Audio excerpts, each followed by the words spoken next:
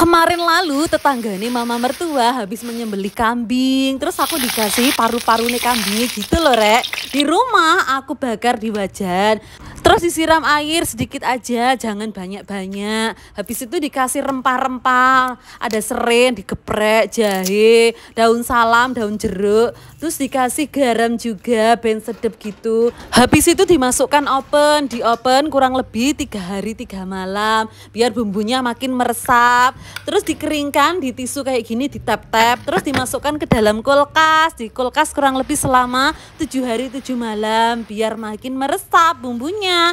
Habis itu diiris-iris terus lanjut digoreng sampai mateng. Kalau udah mateng diiris-iris kecil-kecil kayak gini. Terus dimasukkan ke dalam kuah. Ini kuahnya harus sudah mateng dulu ya. Alias udah mateng atau blebek-blebek baru masukkan serai geprek. Kayu manis lengkuas daun salam, daun jeruk purut, garam penyedap, daun bawang dan juga bawang goreng. Sebagai menu gandengannya aku masak juga tumis, wortel dan juga buncis. Diaduk-aduk biar bumbunya merata. Baru dikasih air sedikit aja jangan kebanyakan. Kalau udah blebek-blebek baru masukin paru yang udah dipotong-potong tadi. Jangan lupa tambahkan seasoning biar rasanya makin enak. Lanjut di sini aku mau gunting-gunting kulit pangsit dipotong memanjang aja. Terus ditata di atas talenan kayak gini biar hasilnya itu cantik bentuk bulat gitu. Terus dikasih paru yang udah matang tadi lalu ditutup. Jangan lupa dipakein air biar merekat gitu ya digorengnya itu. Lalu celupin ke dalam air dan digoreng. Ini digorengnya sampai mateng ya. Pelan-pelan aja karena dia nyiprat-nyiprat. Kalau udah mateng jangan lupa dibalik biar gak gosong sebelah. Dan diangkat kayak gini.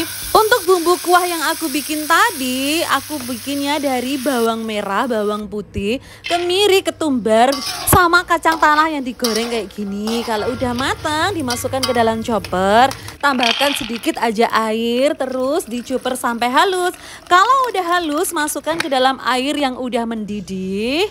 Kayak gini pelan-pelan aja. Kalau kacangnya udah masuk, baru masukin bumbunya tadi. Masukkan bumbunya pelan-pelan aja semuanya dan biarkan bumbunya itu bersatu sama kacang dan airnya. Kalau udah belebek-belebek siap dimasukkan parunya tadi. Ini untuk bumbu tumisannya, bawang merah, bawang putih, cabai dan juga garam penyedap lada bubuk. Tambahkan daun jeruk purut, habis itu ditumis sampai matang, tambahkan kecap. Dan ini cara penyajiannya coto Makassar pakai lontong ataupun pakai ketupat boleh ya dipotong-potong aja kayak gini di mangkok Terus disiram sama coto Makassarnya jangan lupa tambahkan juga parunya tadi yang banyak sama dikasih seledri jeruk nipis, sambal dan juga bawang goreng. Terus cara makannya jeruk nipisnya tinggal diperasin aja kayak gini. Habis itu dimakan lontong sama kuahnya ini jadinya seger banget.